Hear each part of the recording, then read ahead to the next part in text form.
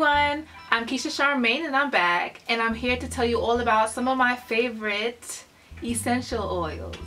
How they're used, their benefits, my favorite ways to incorporate them into my health and wellness routine and hygiene. Stay tuned. So, here are a set of six essential oils by Taseyar. It has a nice variety of some of the most popular oils lavender, orange, lemongrass, tea tree, peppermint, and eucalyptus. Each of these oils has really great benefits when used topically or through aromatherapy. I hope you're taking notes. On the screen, I have listed a bunch of the ways you can use each of these oils. You may notice that there are some overlapping conditions so that you can use different oils or a combination, depending on your preference, of course.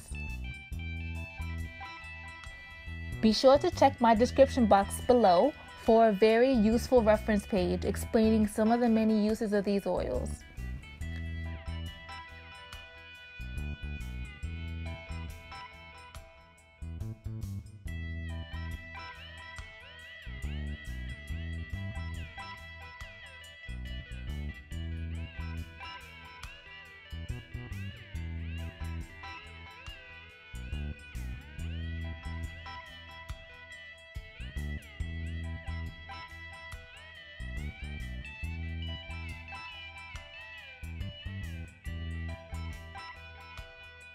So my favorite way to use essential oils is with a diffuser.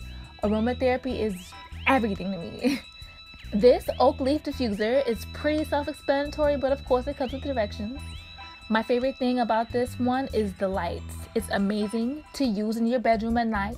It adds an air of sensuality and calm for you to get lovely sleep. It has different timer settings, of course, and you can change the lights to your preference or let the colors alternate. My second way to use essential oils is in a body butter. Here I have a mix of shea butter and coconut oil.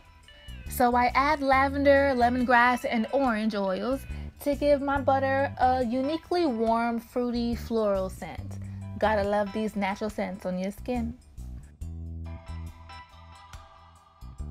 My third favorite way to use essential oils is in my homemade hair oils.